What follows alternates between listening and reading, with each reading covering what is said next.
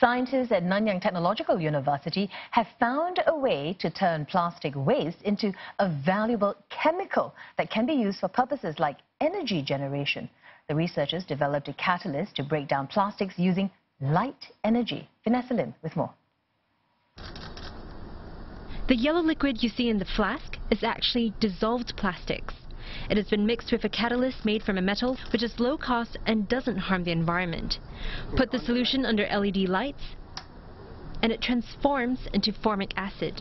It's a chemical that's used to make products like preservatives and fuel cells for storing hydrogen. Millions of tons of formic acid are produced every year, mostly using fossil fuels. But this will not be sustainable in the long run as demand increases. For the same reason, chemists at Nanyang Technological University also plan to switch away from LED lights and use sunlight instead, even though it might be a less reliable light source. Our intention is to actually find a way to actually turn things that we already have um, and then recycle them and, and upcycle them into more valuable products without actually generating more greenhouse gases. By turning items like plastic bags and styrofoam into formic acid, the project could help to tackle the problem of packaging waste. Right now, the project is still in its infancy, but with plans to scale it up and to use only renewable energy sources to power its process, this could pave the way for a more sustainable future and also boost plastic recycling rates. Now, last year, more than 900,000 tons of plastic waste was thrown out in Singapore, but out of this, just 4% was recycled and the rest was incinerated. For now, researchers are looking at speeding up the process, which currently takes about a week. And for more on the new discovery out of NTU, Assistant Professor Soo Han Sen joins us in studio for more on this. Thank you for joining us. Uh, so tell us, uh, how did this idea sort of come about? Yep, so actually we started working on this because of the haze.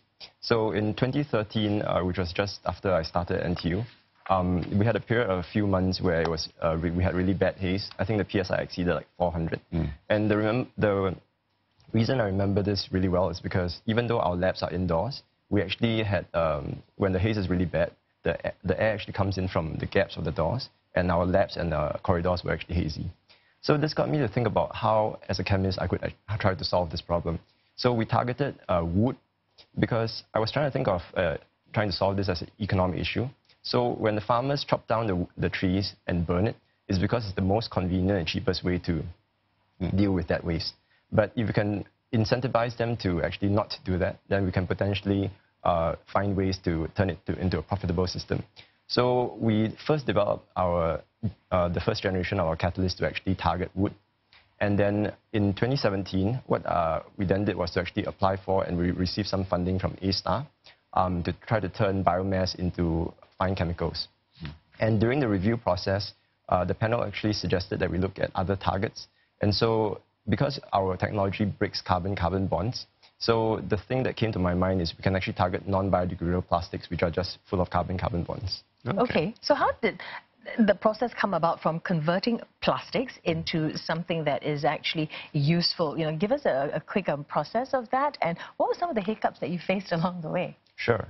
So the, the analogy I like to give is to think of a zipper, and the plastic is like a zipper, and then the catalyst is like the handle on the zipper. So um, in order to get reactions to take place, we actually need to have some energy input. And in fact, uh, sunlight is an, more or less an infinite source of energy. So in just about one hour, there's actually more than enough energy to power all of humanity's energy needs for an entire year. So in other words, uh, so what we wanted to do was to try to use sunlight instead of heat because when you use heat, you need to burn fossil fuels. So our defeat the purpose. Exactly. Yeah. So what we then did was to uh, develop a catalyst that can use sunlight to break carbon-carbon bonds. So our catalyst works by latching onto a functional group called an alcohol in the plastic, and the alcohol contains an oxygen. So once it latches on, it absorbs light and then breaks the carbon-carbon bond next to the alcohol. So this makes the plastic one carbon shorter, and it forms a fragment that can react with oxygen in the atmosphere to form another alcohol. So this process can then repeat because the alcohol can then latch back onto the catalyst. And then subsequently, uh, as we keep irradiating it, then it becomes like a zipper where we are just unraveling all the carbon-carbon bonds and turning into useful chemicals like formic acid. Okay, and does this work for all types mm. of plastics? I noticed you brought in some different types here. Right, that's a very good question. So our catalyst works by breaking carbon-carbon bonds. So it only targets plastics that have continuous chains of carbon-carbon bonds. So the common ones that we usually find are things like uh, these materials, like plastic bags, straws, and these types of plastic containers, which are usually either polyethylene, polystyrene, or polypropylene. But it doesn't really work for uh, containers like these, uh, which are made of polyethylene terephthalate. So these actually contain oxygens in there that actually halt the process. Mm.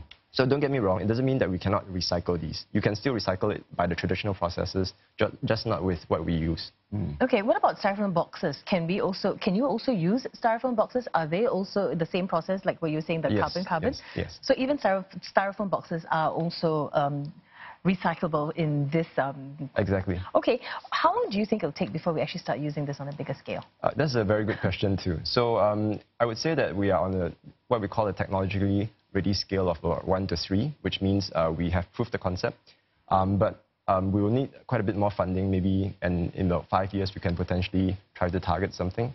So what we're trying to do right now is that we need to improve how we uh, reuse the catalyst and also separate it from the products.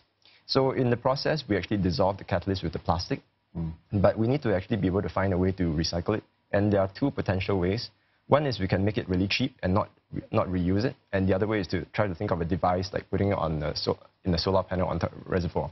So the, in the first method, what we do is that we can make the uh, material really cheap, just disperse it in the ocean, let it sit for a few days, and then not recover it. But I'm not so keen on that because then we don't actually recover the useful chemicals. So the other way is we can actually embed our catalyst on the surface of, let's say, a cartridge or a tube or even a shallow pond, and then we leave it out in the sun. And this way, then the, the sun can shine, and after a few days, we'll collect the product at the end. So what we want to do is to actually uh, work with uh, our colleagues in NTU. There's this uh, renewable energy integration demonstrator in Pulau Semakau, and we hope to actually demonstrate it uh, using uh, that as a pilot plant. Okay, well, thank you very much for coming and sharing it with us. We wish you all the best uh, with your endeavours with it. Assistant Professor Su Sen from Nanyang Technological University's School of Physical and Mathematical Sciences. Thank you.